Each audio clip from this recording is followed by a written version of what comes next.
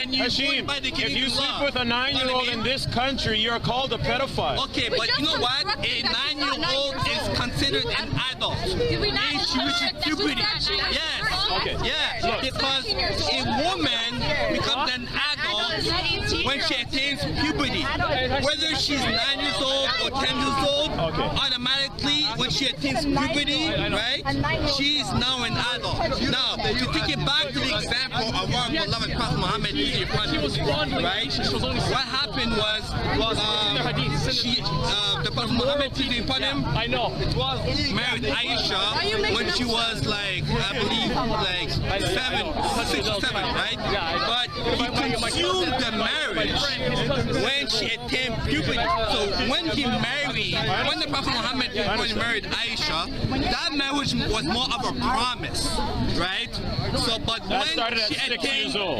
yeah, it was a promise. That marriage was it a promise. consummated? It was consummated At nine uh, years old. when she was, I believe. I'm not. There's different I know, it's nine years there's old. difference of opinion. Some people say 11, some people say 9. But whatever the age is, whatever, Both children, nine or 11, they're whether, child. whether it's 11 or 9 years old, right? At that time, uh, uh, she became an adult. She was an adult automatically because she attained puberty.